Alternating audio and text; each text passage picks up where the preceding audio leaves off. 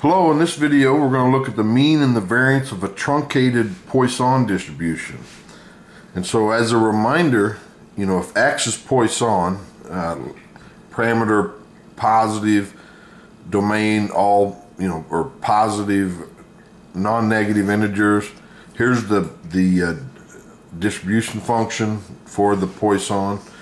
And to, to do a truncated Poisson, it's really it's the probability that x is at you know given little x or probably the x is x given that x is greater than or equal to k plus 1 and so this Poisson can be written like this.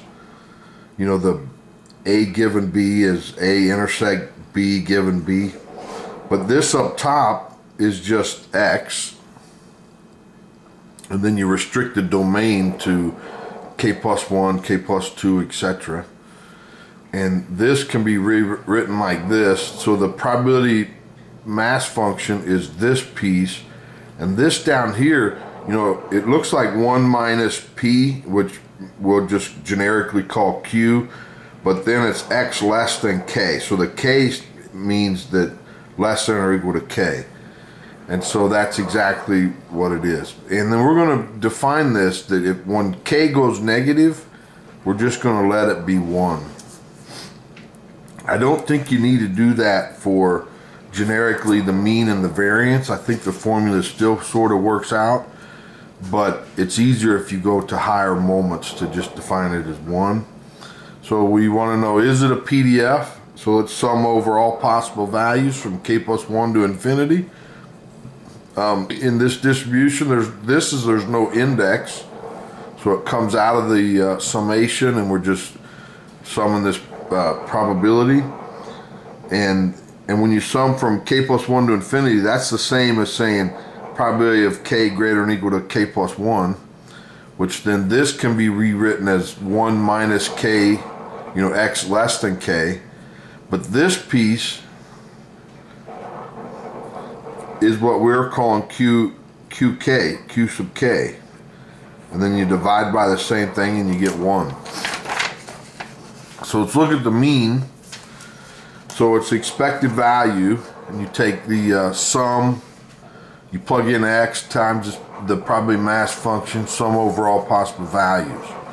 So here's that little piece that we divide by. There's, it's no index, so we can bring it out. Then we take x times this, the probably mass function. Well, that x cancels with one of those, leaving x minus 1. But I also take out a lambda. And the, the idea is to get a x minus 1 in both places. So then when we do an index change of y equal x minus 1, then it looks like this. So we're, then we're summing from k to infinity and this is the Poisson distribution. And so um, this is the this is the same as saying that probably the x greater than equal to k, but you can take one minus that, probably the x is less than or equal to k minus one. Well, this is what we're generically calling q sub k minus one, and so this is the mean of a truncated Poisson. Um, now, at the end of the video, we'll look at what's called a zero truncated Poisson distribution, but this is for a generic K. Uh, let's look at the second factorial moment, which is this. And we, and we go basically do the same process. You bring out the QK, and then we're summing from, you plug in the x, x minus 1 times the probability mass function over all those values. Well, these two uh, numbers can cancel with two of those, leaving x minus 2 factorial. And then to kind of get an x minus 2 up here, I bring out 2, uh, you know, lambda squared. And then um, this, with an index change, y equal to x minus 2, is rewritten like this, where y goes from k minus 1 to infinity. And then that's the that's a Poisson. So that's the probability that x is greater or equal to k minus 1. But 1 minus that is this. And then this is what we're calling q sub k minus 2. And so this is the second factorial moment. So when we calculate the variance, This is uh, the formula is expected value of x squared minus the mean quantity squared. But here we're adding a well-chosen zero, so it doesn't affect the overall uh, formula. But this first part right here is the, the uh, second factorial moment. And the mean we calculated a second ago, so we can we know both of those. So if we plug in what we know here, and then the mean, and then the uh, mean squared, then that uh, simplifies to this right here. This is the formula for the variance of a k truncated Poisson distribution. Now, in the literature, you often see a zero truncated mean. And when you plug in the exact uh, you know numbers to these formulas, they're just slightly different. They're 100% equal, but slightly different. That's why I wanted to go over this. So we'll, we'll go down this column first.